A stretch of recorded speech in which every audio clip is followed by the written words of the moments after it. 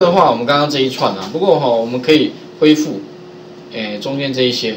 如果你今天不要用 if is l 的话，你可以用另外一个方法。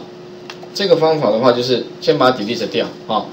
里面的话呢，当然原来的是，诶，插入函数里面，各位可以找一下逻辑，你会找到那个逻辑里面呢，会有那个 if l 这一个函数，if l，哎。If l 那跟 if 加上 is l 有什么差别？其实结果是一样的。不过我不太记得是不是二零零三以前的版本没有了哦。可能你们如果旧版的话，我不确定有没有这个东西哦。然后那使用的方法很简单，按确定，一样是把刚刚的东西贴上，所以刚刚的东西一样贴上。那它会刚刚是有三个方块让你呃文字方块让你填。不过这边只有两个，你只要贴上刚刚我们做的慢时判断，那它只会问你说，如果发生错误的话怎么办？那如果正常的话怎么办？啊，如果正常，它就是用上面的啊，就不需要再额外再贴了哈。所以公式会比刚刚来的简短许多。OK，按确定。好，那结果会有什么差别？其实应该没什么差别了。好，OK，往下往这边拉，哎，结果就 OK 了。哦，好，这样的话就完成了。哦，那所以这个地方的话呢，呃，基本上没有什么差别啦。不过公式哈会简短许多。那当然呢，想起来，哎，如果以后你用 is l 判断的话，反正记得用 if if if 啊什么 if l 就可以了。哦，OK。不过有些工程师他们看到这个这个哈。他会念 arrow 了哦，不过我后来发现那个，诶，其实应该是念错了哦。不过这这个，呃，因为我看外国人他发音不会是 a 什么 arrow 啊，应该是 l 才对哈。所以这个地方的话呢是 if l，OK，好，然后呢我们就完成第一阶段，年历产生的。不过呢哈，我还希望呢，我礼拜六、礼拜天是不同的格式。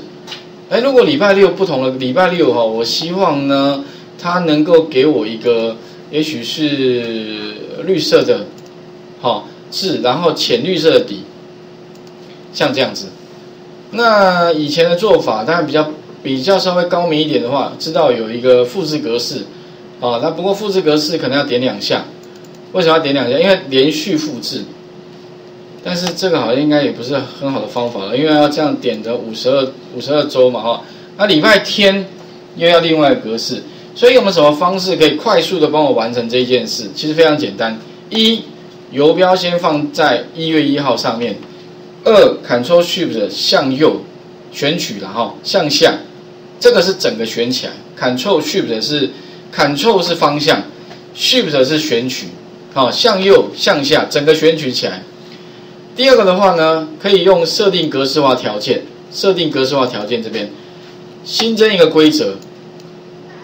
那规则的话呢，我们可以用什么？用公式来决定。这边有没有使用公式来决定？那因为哈，我们礼拜六、礼拜天我刚刚讲可以用 weekday。其实呢，在使用公式呢，你也可以用 Excel 里面的函数等于什么呢？等于 weekday。啊，不过呢，它不没有办法自己插入那个函数，你必须要自己打上去，OK。然后呢，再来就是说你要给哪一个储存格？那储存格特别注意哈，一定是以左上角那个，因为一月一月一号是 A 二啦，所以我们就以 A 二那个当基准，A 二，它会自动帮你把全部的做完。如果等于多少？等于礼拜六，那就是七嘛，哈。那礼拜天的话就一。把这先复制一下，因为等一下礼拜天要做格式化。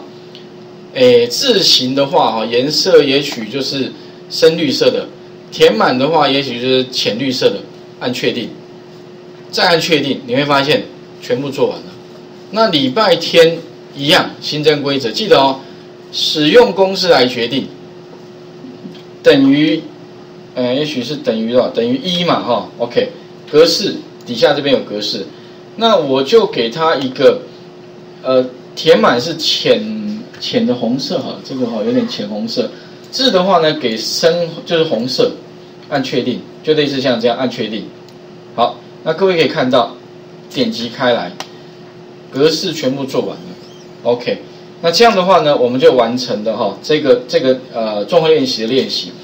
那不过哈，如果我今天希望怎么样，可以做一个哈，哎 VBA 版本的，这个难这个难度其实比较高了。那各位如果有兴趣的话，我已经把那个最后的完成这个刚刚的哈完成的程式码都放在这边。比如说怎么样做格式化，怎么还原，怎么自动产生，哦啊，我想这个因为今天时间的关系哈，就先把那个我们的这个部分哈，就是啊年历部分先做出来，啊下个礼拜哈，我想我们再来看那个有关 VBA 部分，啊回去有时间各位有兴趣啊，哎也可以试试看啊，你贴上去输入一个啊一个年，它就会自动帮你把后面的东西全部完成了。OK，那今天的话，我想哦。